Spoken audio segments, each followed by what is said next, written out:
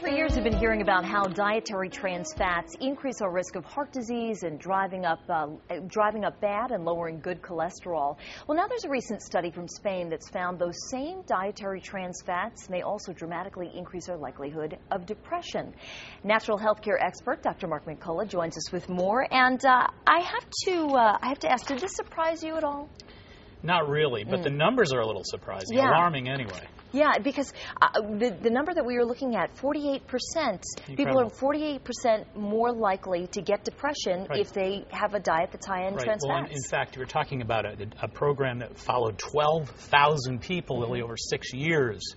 And so there's a lot of numbers involved here. And, and as you point out, a 48% greater risk for depression. We know heart disease is correlated with trans fats, but now bad fats in depression are kind of coming together. So what is trans fat? Why is it such? Why is it in everything? It is everywhere. It's a flavor enhancer. It's a texturizer. So to food scientists, it's a great thing. Unfortunately, to the arteries and to circulation in the brain, not such a great thing. Mm-hmm. And unfortunately, what, what's being done here with food science is they add hydrogen compounds to vegetable fats to kind of thicken them up. The idea of how uh, oil becomes margarine. Mm-hmm. Now, is your body still able to recognize when you when you start messing at that right. level? Does your body know what to do with stuff like that? Well, that's the sixty-four thousand dollar question, mm. and the key really here is no.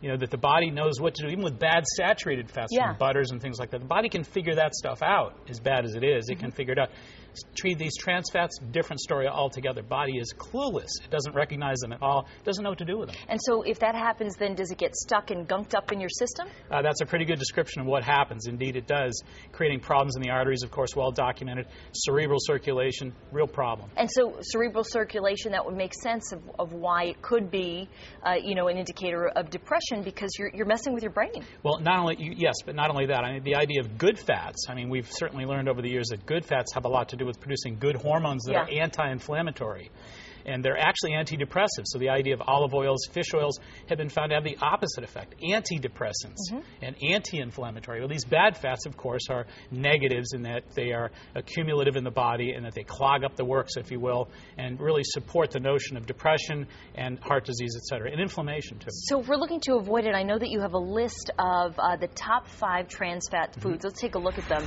Uh, the first one you say is margarines. Yeah, margarines, unfortunately, are where this all started. Know, as we pointed out a minute ago, you add a hydrogen compound in food science terms. Mm-hmm. And what's happening is you're thickening up oils like corn oils and things like that, and you're converting them into sticks of margarine. So the idea of margarines are, are classic. It goes way back to the oleomargarine. If, if you just to ask real quick, if you look at the ones that say like a smart margarine or, or a natural or a good choice, is that still going to be an issue? Well, important point uh, that there are lists now, according to uh, you know government uh, enforcement, that as of 2006 you have to have labels now. Okay. So if it doesn't say trans fats, some of the good margins you're talking about don't have the trans fats, and that's a really important point.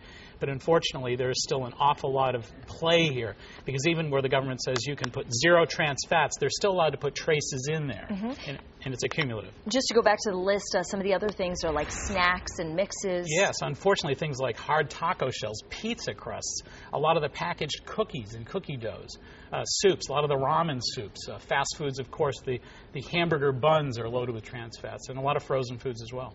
So you were saying if we avoid some of these and we use fish oil and that sort of thing, it can have the opposite effect because there are good fats. Yeah, well, the University of Virginia is uh, most noteworthy. 2009 had a really comprehensive study about how olive oil, fish oils actually have the opposite effect, more of an anti sort of depressant effect. So, yeah, you're absolutely right. Good fats have a positive effect on mood and on arteries bad fats opposite. And I know it's always better to get your, you know, a- any supplement really from your food rather than from a supplement form. But can you integrate these supplements if, like, if you're not a big fish eater? Could you get you get a fish oil tablet and still work? Yeah, and again, there's a number of different great studies that point out that very fact that folks who perhaps didn't eat a lot of fish in their diet but took supplements, flax oil and fish oil supplements to build up the good fats in their body, do show that these positive results absolutely convert. Just lastly, I know that a lot of companies have said, listen, we're taking trans fats out of our foods.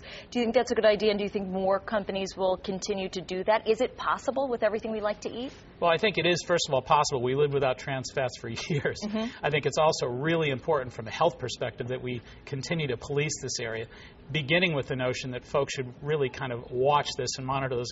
Zero trans fats should be looked for on the labels.